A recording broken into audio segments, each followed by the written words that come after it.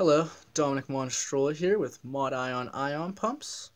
What you have in front of you is a 1 liter, 2 liter, and 3 liter per second modular system. Modular meaning the power supply is integral with the pump itself. In this video today, I'm going to talk about how to disassemble your modular system in preparation for bake out. First things first, going to take out the input power. Next step is to loosen the four screws to take off the power supply.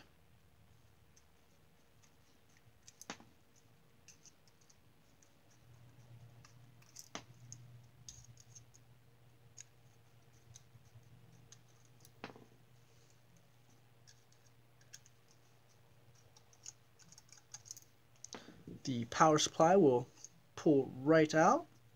Set that aside. Next step is to loosen the two nuts to take off the adapter plate.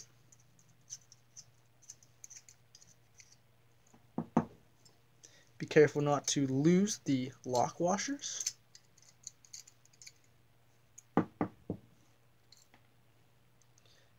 And your final step is to loosen the two acorn nuts to remove the magnet yoke.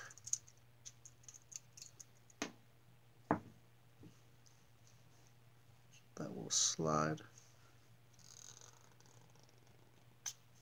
directly off. And the two pole pieces will fall out. Now you are ready for bake out.